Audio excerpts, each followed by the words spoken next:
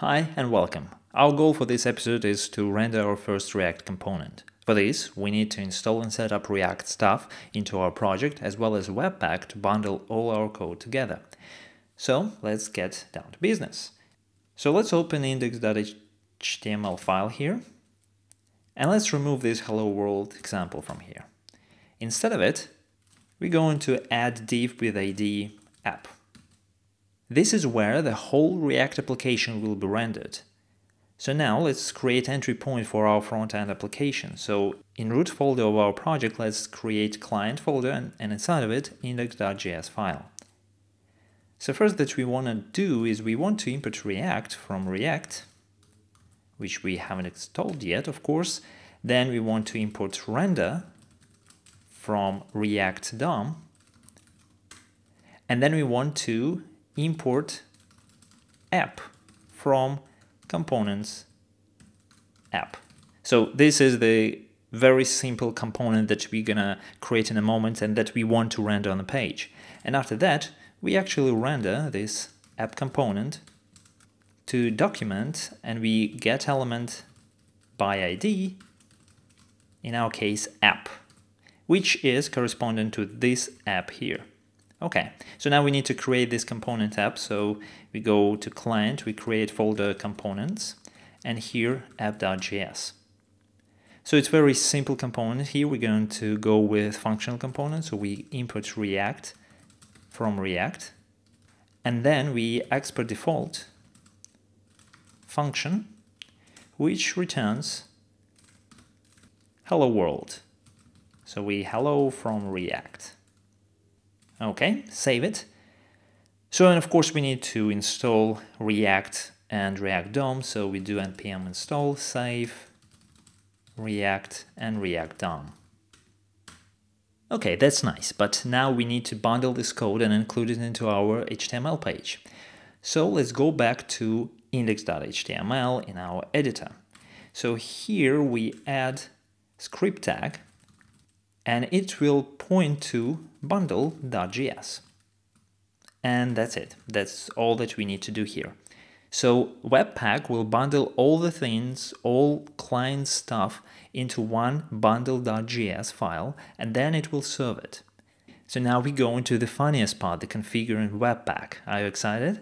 So we'll make baby steps as usual and only configure things we need for now. As we use Express, we're gonna use Webpack Dev middleware package. So let's go to index.js in server, and here we're going to import several packages. We're going to import Webpack from Webpack. We're going to import Webpack middleware from Webpack Dev middleware package. And then we're going to use this Webpack middleware. So we on our app, we use middleware Webpack middleware here, and it takes a compiler. And a compiler is the Webpack function, which is run with Webpack config. Okay, so we need this Webpack config, and we're going to import it from root folder of our project, and we call it webpack.config.dev.js. So now we need to create this config. So let's create webpack.config.dev.js and inside of it we export default object, the configuration object, and the two things that we must provide is an entry which is going to be the client index file. So we again use path join and we're going to take their, dirname and client index.js. And the second thing that we must provide is output. And for our purposes, we need to provide path. And we can specify any path here because middleware actually doesn't care about it because middleware will serve this from memory. Instead of creating the file, the bundle, the actual bundle.js file, it will serve it from memory. Okay, so now we have configuration. So let's install npm install save dev and we install Webpack and Webpack Dev middleware. Okay, done. So let's run server and try it out. Okay, we have an error. First of all, we do not have path, which is which makes total sense. I forgot to input path from path. Let's try it again. Now we have another error. So we have unexpected token because uh, Webpack doesn't know anything about JavaScript. So we need actually to, to instruct it how to handle JavaScript files. So we need to use some kind of a loader.